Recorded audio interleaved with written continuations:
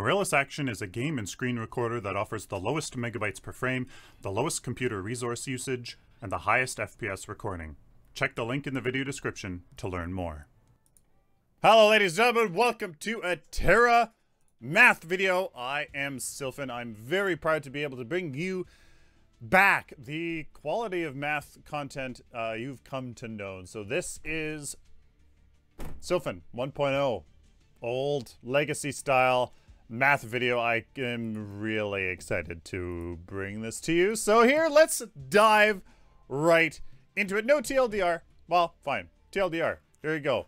Um, a 2 to 1 ratio of attack speed to power provides Terra the most DPS. When looking at individual damage types, Terra prefers the respective armor over health. If you just care about one type of damage, go all in armor, baby. When combining incoming damage types, though, because health affects both equally, early game health, mid game combination of e of health and armor, and that's actual equal uh, combination of health and armor, and late game armor, not necessarily health, are what Terra prefers.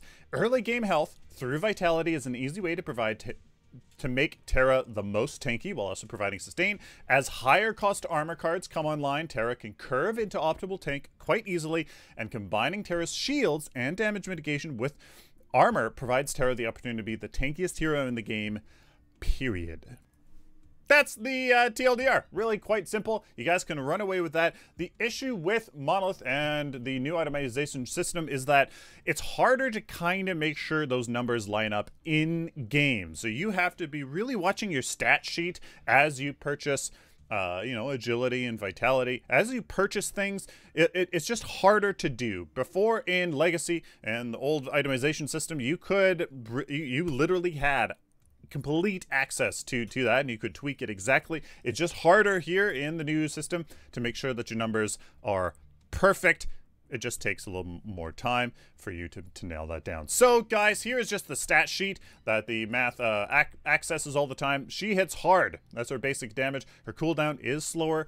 Basic damage per level is pretty high. HP is pretty good. Attack damage, all this wonderful stuff. Now, this is where it gets really quite interesting. So this is optimal. I have highlighted the optimal um, effective H or the uh, uh this here is actually DPS. I've highlighted the optimal DPS um, at hero level 5, hero level 12, and hero level 20 with varying levels of attack speed and power. So as you can see here in the early game, uh, Terra likes likes some power and then kind of and then attack speed. In the late game though, she really likes her attack speed, and then it's kind of like a one-to-one. And when you kind of look at the average numbers here, it's looking like about a two-to-one ratio of attack speed to power, which you know what makes sense. She hits hard, and she has a slow cooldown. It only makes sense, plus she gets more damage the more she levels up, and the attack speed per level isn't too much.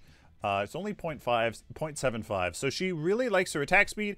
If you care about DPS, it's really all about the attack speed for Terra. So 2 to 1 attack speed in, in, in the late game, even in the mid game. Around here, we're level 12. Really, that's kind of about it. Um, the only thing that you have to consider here is that, well, power, do, you know, power does feed into her abilities. She does have some nice abilities. She has two um, abilities that do deal, uh, you know, an okay amount of damage. So if you care about the burst, obviously it's power, but as, uh, you know, Terra's all about sustainability. I wouldn't care too much about that. I would rather care about sustained damage if I were to prioritize damage on Terra. This next one here is HP versus basic defense how much attacks, how much health versus basic defense does Terra like when we're talking about optimal HP. So effective HP, what increases your effective HP the most? And here in the early game, you get some ar you, you, you, get some armor, some some basic armor. This is added basic armor on top of what she gets naturally through her heroes, uh, through hero levels. And as you can see, some armor, 24 armor, that is actually pr pretty pretty good amount. Then it, onto uh, and then then onto kind of like a one to one sort of, you know, well not one to one, but whatever that is, five to one, whatever that, that ratio is of uh, of health to armor. So then then it go down. As you start to increase in hero levels, though, she gets a lot of HP per per hero level. She gets a lot of HP. She has a, she has a good amount of HP, and as you can see, in terms of basic damage only, you're only taking basic damage in this imaginary scenario. She runs away with armor. 120 basic armor. I, I, think that's literally impossible. But uh, as you can see, the point is she loves armor. Plus the shields that she's going to get. I mean, she, that only makes armor more viable on her um, if, if, in that regard. So in terms of basic damage, she absolutely runs away with armor. If we go down here and take a look at ability defense, just ability armor, it's kind of the same story. It's kind of the same story. It, it, it is literally this exact same story here in the early game, in the mid game, in more armor, and in the late game, even more armor. Ability armor even more so because you don't get ability armor per hero level. So she really likes armor. Armor, armor, armor, armor, armor, armor. Now, that isn't exactly the real world scenario. In the real world, you take both kinds of damage. You take some basic damage, you take some ability damage, and health affects your your effective tankiness equally on both sides. So, we have to we, we have to assume something. How much of each type do we take? And in this case, I have assumed we take half basic damage and half ability damage. As Terra is a super tanky hero, you're going to be able, in my opinion, to stick around on the battlefield a lot. Meaning that initial burst of damage that usually happens, A, you can hopefully mitigate with your with with your block, but even if you don't, then that ability damage is large up front, but then basic damage takes over as more sustained damage sources like like carries or just basic attack assassins or just more basic attacks come, then I I'm in this scenario, we are assuming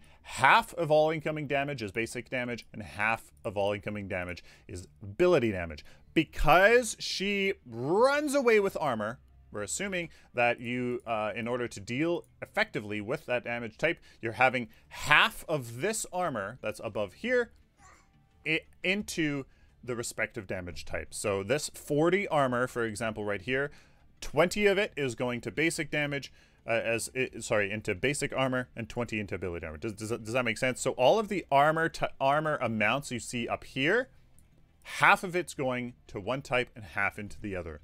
In the early game, if this is the if this is the case, then she runs away with health. And you know what? That's going to be that's going to be hands down the case for every hero. You have 30 ability armor right off the bat.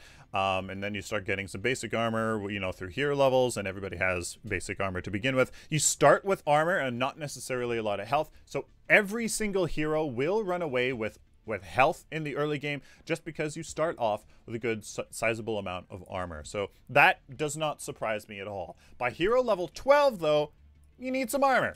You need some armor of both of both kinds added armor um, on top of hero levels in order to, in, in order to then start building into HP. In the late game, by hero level 20, take a look at this.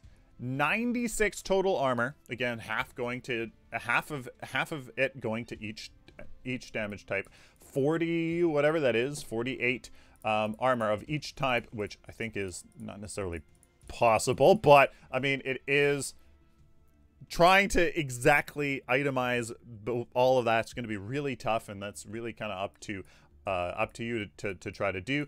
She runs away with it. So essentially, she likes armor. Guys, the the the the moral of the story is she likes armor. Of course, she likes health, but you're going to get that health anyways with vitality and stuff like that. So, in terms of itemization, armor, armor, armor, armor, armor, armor, armor. So, what are some factual statements we can make then about Terra? A 2 to 1 ratio of attack speed to power provides Terra the most DPS. And you know what? That makes sense. She hits hard, she has a slow attack speed, and she gets not very much attack speed along the way to hero level 20. So, because she's she'll be able to stick in the fight a ton, Attack speed makes a lot of sense on Terra. When looking at individual damage types, Terra prefers the respective armor over health, which makes sense. And when combining incoming damage types, early game health, mid game equal combination of health and armor, and late game armor only are what Terra prefers when it comes to getting maximum effective HP. And you know what? That makes sense. Plus, she has shields. She has shields which affect, which are benefited from armor and not health. So, you know what? Armor all the way on Terra. And you know what? There's some really, really, really, really good um, options out there that give just armor and power so that she can. She, she she could do a lot. I'm thinking like unstable cyborg. I'm thinking Thorn Yomi. I'm thinking arcane dancer. It has power and health, not necessarily armor, but that ability damage mitigation. You use her ultimate, and then you use arcane dancer afterwards. Plus, people are hitting you with unstable cyborg. Plus, Thorn Yomi after that. Like, I'm thinking. I'm thinking Terra has some insane options out there.